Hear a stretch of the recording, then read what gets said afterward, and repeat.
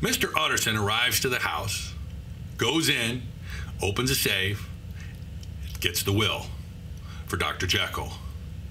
And he's thinking that there's something wrong with his will, and what should I do? Are you curious? Go ahead and read.